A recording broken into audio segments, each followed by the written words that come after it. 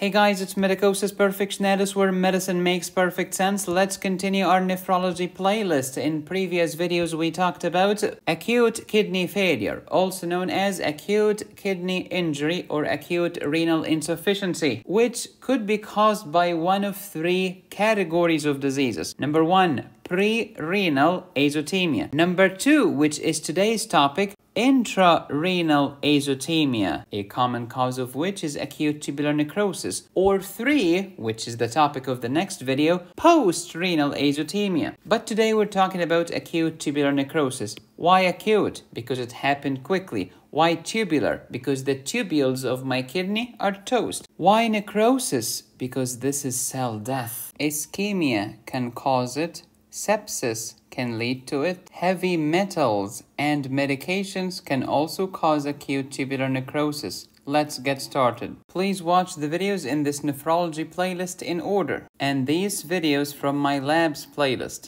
If the problem is before the kidney, i.e. the perfusion of the kidney, it's called pre-renal azotemia. If the problem is in the kidney, we call this renal azotemia. If the problem is after the kidney, we call it post-renal azotemia as we have discussed before. What does azotemia mean? Accumulation of nitrogenous waste products in the blood because your kidney is toast and your kidney cannot excrete these wastes. Acute tubular necrosis is a subtype of renal azotemia.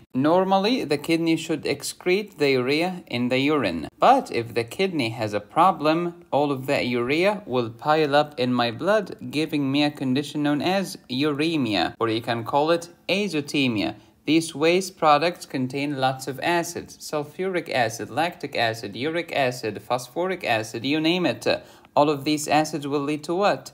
High anion gap metabolic acidosis. Acute tubular necrosis is a subtype of acute renal failure or acute kidney injury or acute kidney insufficiency or acute renal azotemia, where the problem happens quickly and it is reversible. If treated promptly. Azotemia means accumulation of nitrogenous wastes in the blood. What's the normal blood urea nitrogen? Less than 18. How about serum creatinine? Less than 1.2. Let's say that the average here is 15 and the average here is 1. What's the normal BUN to creatinine ratio? 15 to 1 or 15. 15 or higher is a good kidney. Less than 15 is a bad kidney. Because a good kidney should reabsorb some of the BUN back but should not reabsorb creatinine. A bad kidney will be unable to reabsorb the blood urea nitrogen and the ratio will drop because the numerator drops. I have acute tubular necrosis. It's intrarenal azotemia. What's going on? Uremia, lots of BUN and creatinine in the blood, less GFR, less urine volume. Don't forget that acute or chronic renal failure will lead to HAGMA, as in today's topic but renal tubular acidosis will lead to NAGMA. The serum anion gap is high in renal failure, but the serum anion gap is normal in renal tubular acidosis. We've said before that acute kidney injury has three causes, pre-renal, intrarenal, and post-renal, and the intrarenal has three sub-causes, and we have three stages, initiation, maintenance, and recovery. Why does the intrarenal has three causes? Because the problem could be in the glomerulus, could be in the tubule, or could be in the interstitium. What are the conditions that can damage my tubules, hypoxic or toxic? Tubular damage is the most common cause of intrarenal azotemia. This is acute tubular necrosis right here. The ancient Greek philosophers spoke of the good life, but here I will tell you what makes a good kidney.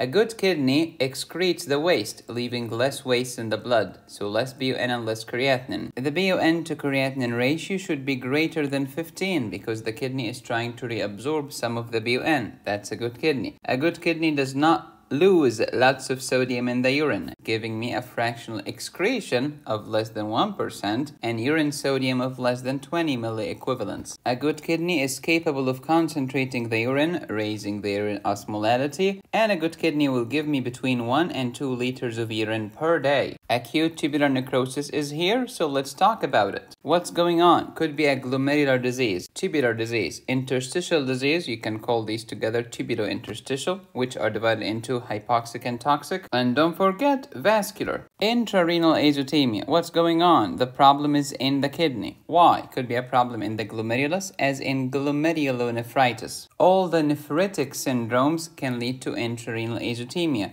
particularly the rapidly progressive glomerulonephritis, which we have talked about in a previous video in this nephrology playlist. What else? It could be a vascular problem, such as chronic uncontrolled diabetes, how about sickle cell disease? Next, interstitial problems as in acute interstitial nephritis, medications such as NSAIDs, penicillin, cephalosporin, and sulfamethoxazole or the sulfonamides in general Viruses can lead to interstitial nephritis and systemic diseases like lupus, like Sjogren syndrome, and cryoglobulinemia. Or the problem could be in the tubule. This is what you call acute tubular necrosis on the exam question, usually describing the cast as muddy brown granular. If you see casts in the urine, you can bet the rent money that the problem is in the tubule, not in the ureter, not in the bladder, not in the urethra. When I see a cast, it means it's coming from the tubule. What damaged your tubules? Hypoxic or toxic? What do you mean? I mean ischemic, less blood supply, or nephrotoxic. The kidney has been hammered by radiocontrast agent, a dye like iodine in the contrast CT, for example, heavy metal poisoning, and medications like aminoglycoside antibiotics. Whatever the cause might be, intrarenal azotemia will have low GFR azotemia, which means increased BUN in the blood and increased creatinine in the blood, as well as oliguria. It's a bad kidney, so the ratio is less than 15. The kidney is wasting tons of sodium in the urine, and the kidney is unable to concentrate the urine. In the previous video, we talked about pre-renal azotemia. Remember? No BP, no PP. Pause and review. Acute tubular necrosis. Which part of the kidney is the most vulnerable to that necrosis? The straight segment of the proximal tubule. Why? There is a rule in medicine that says the following. If you are the most active tissue, you will be the most vulnerable to hypoxia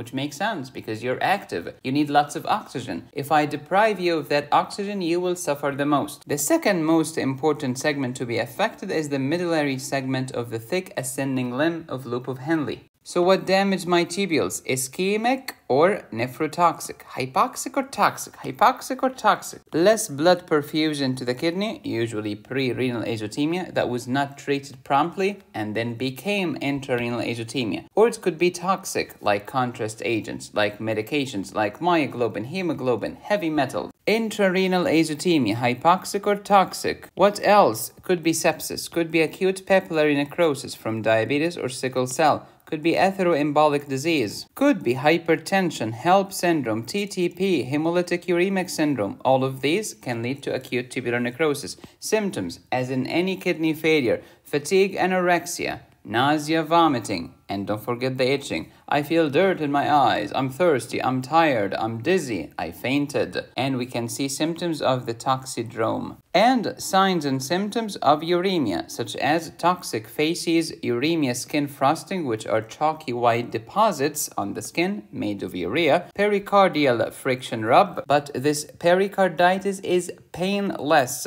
and petechia purpura ecchymosis. High urea in the blood interferes with platelet function, not platelet number. So the platelet count, the number, is normal but the platelet function is abnormal, that's why the bleeding time is prolonged. GFR is down, azotemia is up, you have lots of BUN and creatinine in the blood, urine volume is low, muddy brown granular casts pointing to a tubular origin of the disease. It's a bad kidney, so the ratio is low, FeNA is high, urine osmolality is low. How can we manage this? Stop the offending agent. If it's a medication, stop it. If it's a contrast, stop it. If it's heavy metal overload, stop the exposure. Then, dialysis. What are the toxins that can destroy my tubules? Radio contrast agents like iodine, in contrast CT scan for example. Heavy metal poisoning like mercury poisoning, lead poisoning, and others. And many medications including antimicrobials, including antibacterials, the aminoglycosides, gentamicin, neomycin, amikacin, tobramycin, streptomycin, the tetracyclines like tetracycline, doxycycline, minocycline, etc antivirals, acyclovir and foscarnet, antifungals, amphotericin B, platinum, that's a heavy metal, based chemotherapy, cisplatin, can destroy my kidneys, many immunosuppressive agents such as cyclosporin, tacrolimus, but not sirolimus, because sirolimus saves the kidney. Sirolimus spares the kidney. But tacrolimus is toxic to the kidney, methotrexate is toxic to the kidney, statins could be toxic to the kidney, and of course cocaine, ethylene glycol, and toluene. I remember those organic chemistry days. What are the three stages of renal azotemia? Initiation, maintenance, recovery. Some textbooks will divide them into four stages. Initiation, extension, maintenance, recovery. What's going on in initiation and extension? Well, I started pre-renal, right? Then it's becoming intrarenal. ATP in the cell is being depleted. Blebs in the membrane. Oh, I studied this in pathology. Which part is the most vulnerable? The proximal tubule, particularly the brush border. It's lost. This kidney cannot reabsorb any of the good stuff. Then, endothelial dysfunction, inflammation. We're talking neutrophils, macrophages, lymphocytes, etc congestion, hypoxia, inflammation at the corticomedullary junction. That's an important buzzword for your exam. That's a buzzword. That's a buzzword. The straight segment of the proximal tubule is a third buzzword. What's going on in maintenance? The GFR dropped like a rock. It's at its lowest repair and it will be maintained at this low level. I have oliguria. I have all of the bad signs and symptoms and lab values of maintenance. It's at this stage that the GFR will be kept low until the kidney is starting to prepare for recovery or convalescence. The GFR improves, the normal function is reestablished, and the patient will start peeing like crazy. He will flood the hospital and I will be so happy and pleased about it because this tells me that the kidney is recovering pre-renal azotemia, and then initiation, look at the GFR, deteriorating, extension, deteriorating, and then maintenance, it's at the lowest point. And then you recover, your GFR goes up until you reach normal. If you want to learn about normal kidney physiology, download my renal physiology course at medicosisperfectionalis.com. To master the topic of acid-base and the difference between high anion gap versus normal anion gap metabolic acidosis, metabolic alkalosis, respiratory acidosis, respiratory alkalosis, serum osmolar gap, urine anion gap, and much more, download my acid-base imbalance course, medicosisperfectionalis.com. If you do not want to download my courses and would rather watch them right here on YouTube, click the join button and subscribe to the highest tier. Subscribe, hit the bell, and support the channel here or here. Go to my website to download my courses. Be safe, stay happy, study hard. This is Medicosis Perfectionalis, where medicine makes perfect sense.